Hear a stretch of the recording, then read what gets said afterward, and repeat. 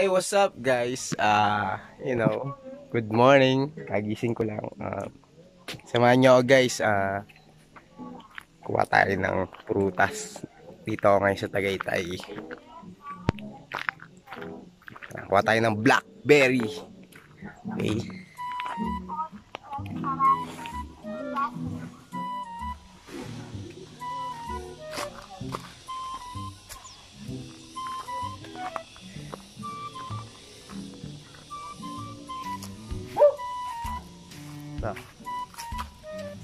Guys.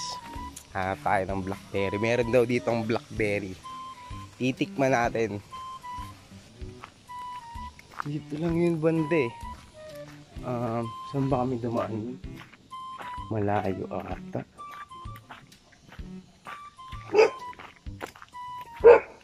Ay, aso. balik tayo, balik. Taka tayo sa aso. Ay, no. Pakabulin tayo, laki ng aso eh. Ano tayo kasama?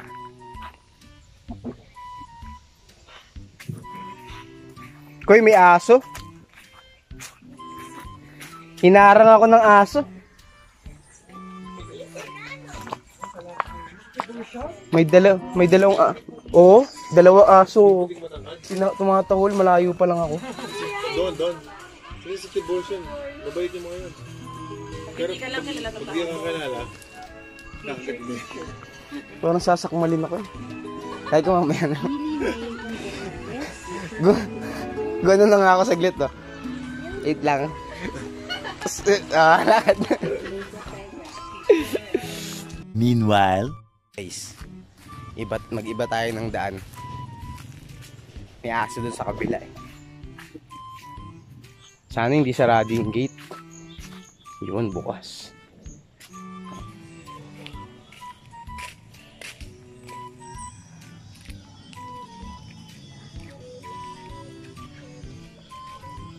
Ganda ng sound trip ko naguhula. Eh guys, sa may taniman. Di ba? Ang sarap dito eh. Ayun ba, may mga taniman yan guys. Oh, hindi ko alam kung ano to. Diba, ang dami. Ganun din ata. Magic fruit. Ay, dragon fruit pala. Jackfruit tuloy, dragon fruit. Ayun na guys. Ito na, makunga tayo ng blackberry. Nakita ko na siya. Ayun. Now,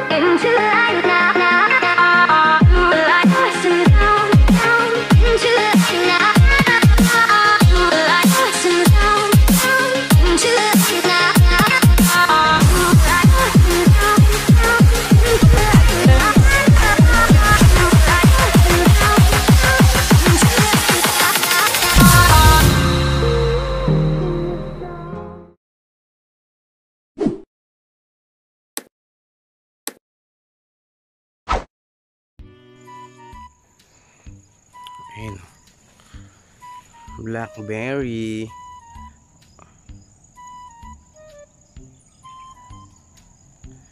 Hindi kita. Ayan, blackberry. Kuha tayo. Ayun. Isa. Isa. Uy, nilaglag. Tikman natin.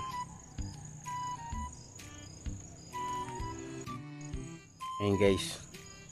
Tikman natin ang lasa.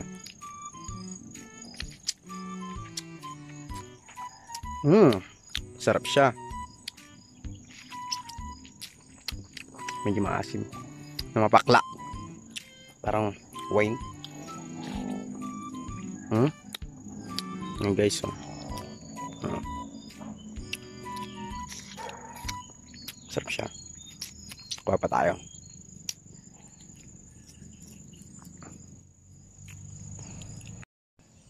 Ayan, kuha pa tayo guys. Marami to eh. No? Mhm. Ito. Mhm. Mhm. Ito.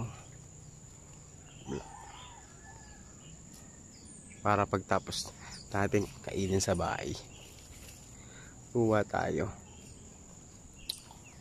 Diba?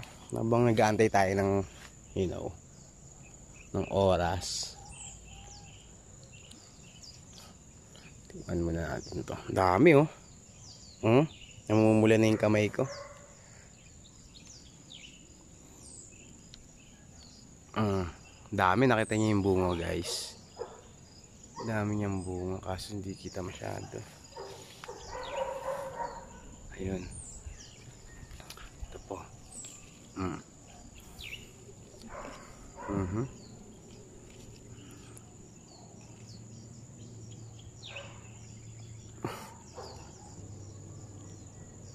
Mhm. Ayun guys, oh. Medyo na pag napipisya siya ng konti, nagkakaroon ng katas eh.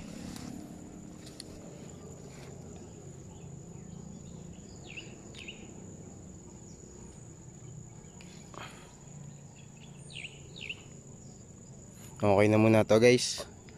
Ito muna yung kainin natin ngayon. Diba? Tara, balik na tayo sa sa bahay. Hmm. Yan guys, tignan nyo. Ayan siya. Blackberry. Diba? Ayan guys, ayun oh. Kita niya oh. Hmm. Kain tayo ng blackberry. Pero tikman na natin. Habang naglalakad. Mhm. Kumakalas sa kamay ko. Ay, nalag.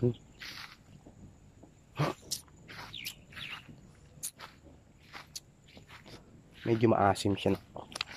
Pero matamis naman siya. Ng konti.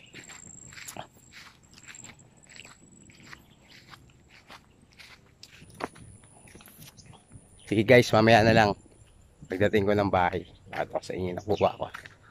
Nakuha kong blackberry. Ayun. Ayun guys. Welcome back. Ayan. Pakita ko sa inyo. Ito yung nakuha natin guys na yan o. Blackberry. Yan. Tikman natin. Try natin sa may asin. Kung pwede siya sa may asin. Parang duhat yung lasa niya. Parang masarap. Oh.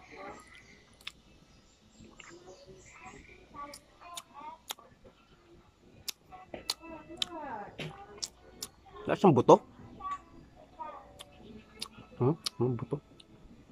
Maliit lang. Kumukulay lang siya sa ano eh. Sa daliri.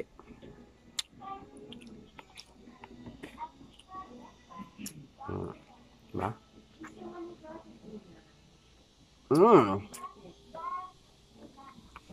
Lasa siyang duwat. Ah, first time ko lang makatikim itong ano eh, ng blackberry. Ah. Masarap siya. Kahit walang asin. Dami yan yun, ah. Ha? Blackberries. Hmm. Mga isang ano lang. Isang palad. Kinuha ko. Mmm.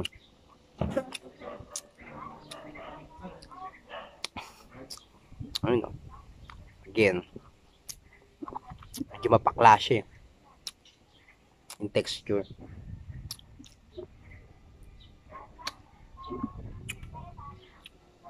Parang mas the best na ano. Walang asin.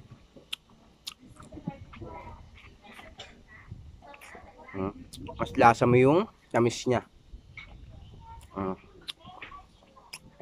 Diba? Isa pa.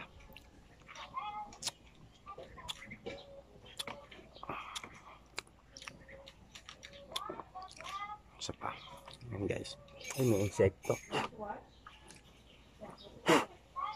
Hmm.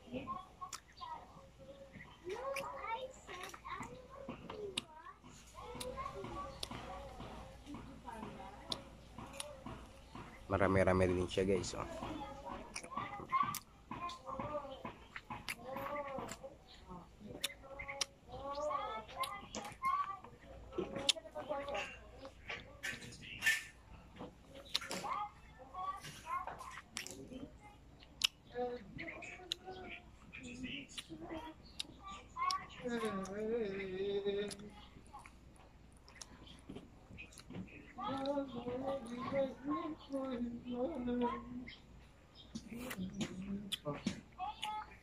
Alam nyo ba guys? Dito kasi ako sa bahay ni Kuya Ken. Si Kuya Ken siya yung leader namin sa group before sa Rockstars. Nila DJ Lunyo, nila Manex, nila Juben, Cliff. Ngayon, pumunta kami sa kanyang rest house sa Tagaytay.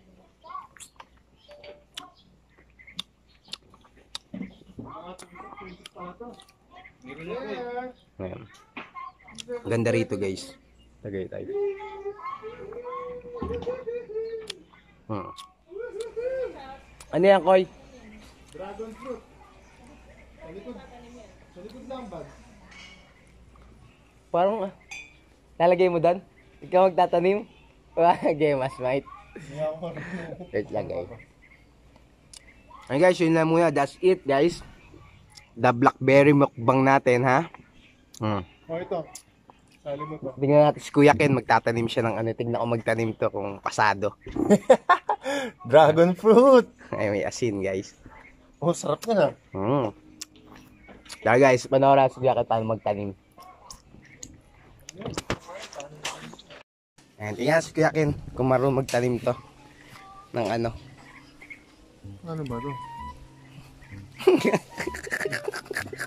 ito may mga ito. Ano to? Lego? Ano, Ay, alam ko pang ano to eh. ano yun? Ay, tigas. Para siyang ano, ang tawag dun. Mami! Ang tawag dun yung halaman na maliliit. Yung may tusok-tusok din. Cocktail, ah. Basta. Kahapon ko pa nasa dila ko yun. Yun guys, so kayo na bahala kung anong ano. Yan, tatanim ni Kuya Kenyan. Dragon fruit. Mm. Kanina jackfruit tawag ko eh. Dragon fruit pala. Yun oh. Oh. Nakatanim na. Guys, and Koy, bigyan mo kami ng idea ah, kung paano itanim ang dragon Actually, fruit. Yung idea na kailangan nyo malaman, yung idea na hindi ko alam yung idea kung paano itanim ito. Magre-research muna tayo sa YouTube University. Yun oh, the YouTube University. Tapos ito, adjust natin. Dami yan ha. Um, 11 na butas. ay, ayun pala, meron na nailagay oh. Di ba? Hmm. Sabi daw ni Kuya Ken, parang isang dangkal yung pag yung lalim bago mo ilagay yung dragon fruit na puno.